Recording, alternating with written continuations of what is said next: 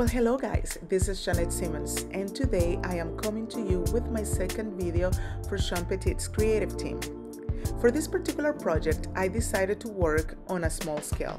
I used my 6x9 spiral journal and created single pages building up from a collage to add some layers and finally using a great variety of stencils from Shawn's line. It was super fun and super relaxing to do this.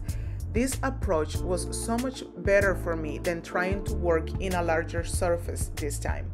So I hope that you enjoy this video and that you can find inspiration.